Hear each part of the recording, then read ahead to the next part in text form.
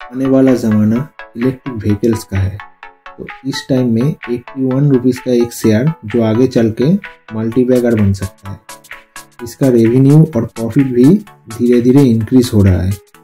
Company का नाम है Ward Wizard Innovation and Mobility Limited और एक सीक्रेट बताऊँ, ये कंपनी अपनी first hydrogen power electric vehicle market में लाने वाली है।